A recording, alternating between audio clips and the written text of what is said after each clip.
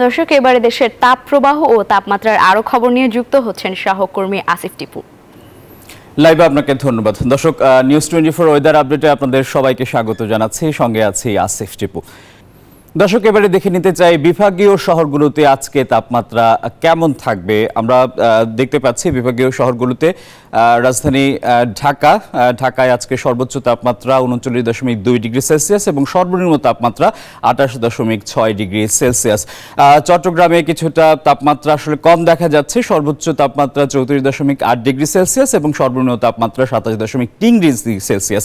সিলেটে তেত্রিশ দশমিক তিন ডিগ্রি সেলসিয়াস এবং সর্বনিম্ন তাপমাত্রা পঁচিশ দশমিক দশমিক পঁচিশ ডিগ্রি সেলসিয়াস সেটি থাকবে এবং ময়মনসিংহে সর্বোচ্চ তাপমাত্রা সাঁত্রিশ দশমিক তিন ডিগ্রি সেলসিয়াস এবং সর্বনিম্ন তাপমাত্রা ছাব্বিশ দশমিক আট ডিগ্রি সেলসিয়াস। অন্যান্য বিভাগীয় শহরগুলোর সর্বোচ্চ তাপমাত্রা এবং সর্বনিম্ন তাপমাত্রাও আমরা দেখে নিতে চাই।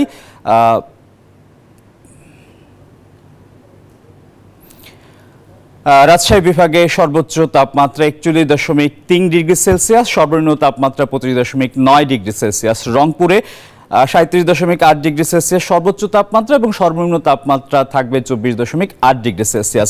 খুলনায় চল্লিশ দশমিক দুই ডিগ্রি সেলসিয়াস এবং সর্বনিম্ন তাপমাত্রা আঠাশ ডিগ্রি সেলসিয়াস, এটি খুলনা বিভাগের। বরিশাল বিভাগে আটত্রিশ দশমিক এক ডিগ্রি সেলসিয়াস এবং সর্বনিম্ন তাপমাত্রা থাকবে সাতাশ দশমিক ছয় ডিগ্রি সেলসিয়াস।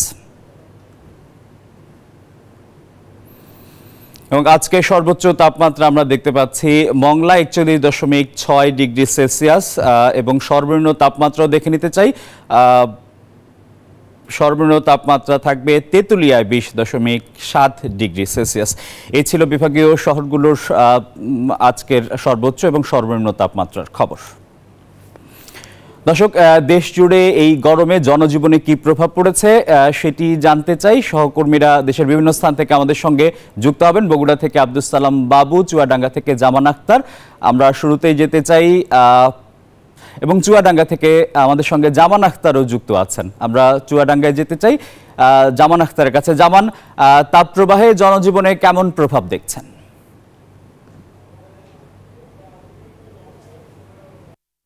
বলে রাখতে চাই যে গতকাল কিন্তু চুয়াডাঙ্গায় তাপমাত্রা রেকর্ড করা চল্লিশ দশমিক দুই ডিগ্রি সেলসিয়াস। তো এবছর কিন্তু এপ্রিলের শুরু থেকেই চুয়াডাঙ্গায় তাপদাহ চলে বয়ে চলেছে। এর ভিতরে গত পনেরো দিন কিন্তু চুয়াডাঙ্গার তাপমাত্রা অসহনীয় পর্যায়ে পৌঁছে যায়।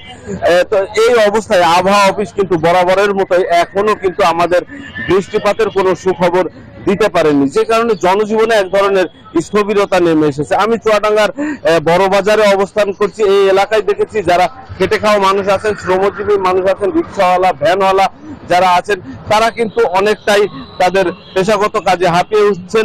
অল্প কিছুক্ষণ পরপরই বিশ্রামের জন্য বাজারের আশপাশে যেসব গাছপালা আছে, তার নিচে বিশেষ করে ছায়াযুক্ত এলাকায় বিশ্রামের জন্য বসে যাচ্ছেন। তারা যথাযথভাবে তাদের পেশাগত দায়িত্ব পালন করতে পারছেন না, ফলে অনেকটাই তাদের আয়ের পথ সংকুচিত হয়ে আসছে। তো চুয়াডাঙ্গাতে তাপদাহের কারণে যেহেতু চুয়াডাঙ্গা কৃষি প্রধান এলাকা, তো চুয়াডাঙ্গার কৃষিতেও কিন্তু এর একটা বড় প্রভাব পড়েছে।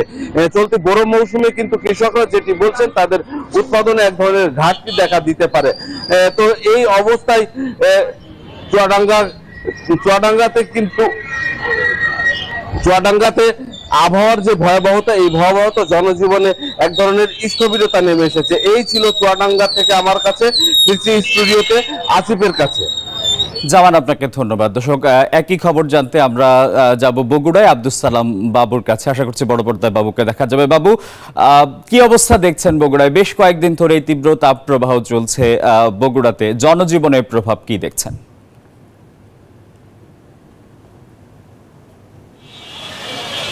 জনজীবনে দারুণ প্রভাব পড়েছে। বিশেষ করে নিম্ন আয়ের যে মানুষগুলো, তারা কিন্তু ভোগান্তিতে পড়েছে। বৃষ্টির দেখা নেই এবং তীব্র গরমে জনজীবন অতিষ্ঠ হয়ে উঠেছে। যার কারণে প্রাণী, কুল সহ মানুষজন সবখানেই কষ্টের শিকার হচ্ছে। গতকাল বগুড়ায় ইস্তেস্কার নামাজ আদায় করেছে সদর উপজেলার গোকুল এলাকার মুসল্লিরা। তারা সেখানে কিন্তু নামাজের মাধ্যমে মহান আল্লাহ তালার দরবারে বৃষ্টির জন্য প্রার্থনা করেছেন। কেঁদে কেঁদে তারা মোনাজাত করেছেন। শুধু গোকুলে নয়, পুরা জেলাতেই গত পয়লা বৈশাখের শুরু থেকেই তীব্রতা বাড়তে থাকে এবং উনচল্লিশ ডিগ্রি পর্যন্ত তাপমাত্রা উঠেছিল। গতকালেও বগুড়াই সর্বোচ্চ তাপমাত্রা ছিল আটত্রিশ দশমিক পাঁচ ডিগ্রি সেলসিয়াস।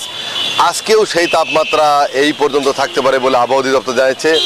এবং আগামী সপ্তাহেও বগুড়ায় তাপমাত্রার কোনো সম্ভাবনা নেই, বৃষ্টিরও কোনো সম্ভাবনা নেই। এদিকে কৃষকরা জানিয়েছেন যে তাদের জমিতে বোরো ধান পাকার উপক্রম হয়েছে এবং অনেক জমিতে জমির ধান থোর হয়েছে। সেই জমিতে পানির সেচ না দিলেই নয়।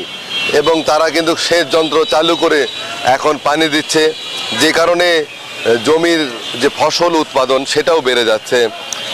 সাধারণ মানুষরাও কিন্তু ভোগান্তিতে মরছে এবং এই মুহূর্তে শহরের বিভিন্ন স্থানে যে ভ্রাম্যমান শরবতের দোকান সেখানে অনেকে ভিড় করছে চিকিৎসকরা বলছে যে, এই বিষয়টিকে কিন্তু অবশ্যই তাদের সতর্কতার সাথে শরবত খাওয়া উচিত। কারণ যে বরফ দিয়ে শরবত তৈরি করা হচ্ছে, যে বরফের পানি, সেখানে ব্যাকটেরিয়া থাকতে পারে। যার কারণে রাস্তাঘাটে যত শরবত পান না করা, একই সাথে শিশু এবং বয়স্কদের প্রয়োজন ছাড়া এই শহরের মধ্যে বা গ্রাম গরমের মধ্যে ঘর থেকে বের না হওয়ার জন্য তারা পরামর্শ দিচ্ছেন। কারণ হাসপাতালগুলোতেও রুগী বেড়েছে। সেক্ষেত্রে শিশু এবং বয়স্করাই বেশি আক্রান্তের শিকার হচ্ছে। বহির্বিভাগেও রুগী বেড়েছে।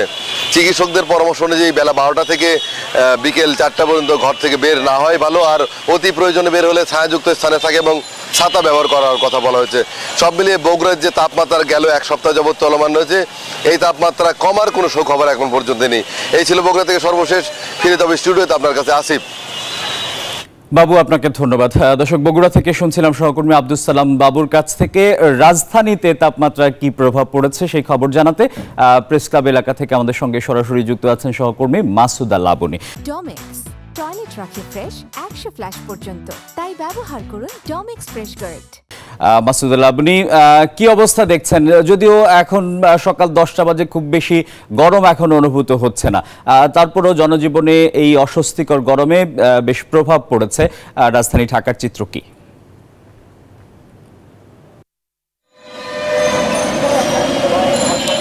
আসিফটুকু সকাল থেকে কিন্তু তীব্রতা ছিল।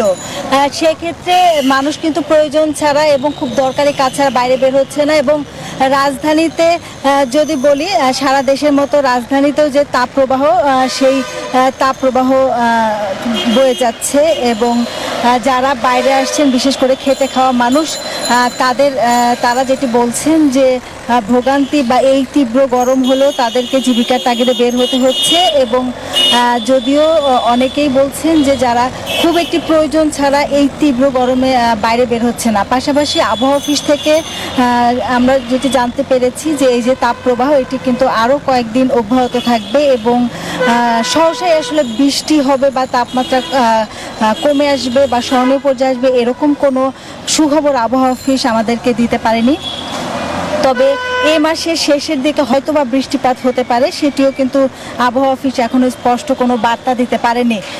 জনজীবনে যে অসহনীয় জনজীবন সেটি সেই মানুষজন বা সাধারণ মানুষ বা খেটে খাওয়া মানুষ যারা, তারা আসলে প্রত্যাশা করছেন এই যে গরমটি কমে যেন বৃষ্টি বা তাপমাত্রা কিছুটা কমে, তাহলে তাদের যে হাঁসফাঁস জনজীবন, সেই জনজীবন থেকে মুক্তি মিলবে। পাশাপাশি সবারই প্রত্যাশা আসলে গরম কমে আসবে। আসিফ। লাবণী, আপনাকে ধন্যবাদ। দর্শক রাজধানীর প্রেস ক্লাব থেকে জানাচ্ছিলেন সহকর্মী মাসুদা লাবণী।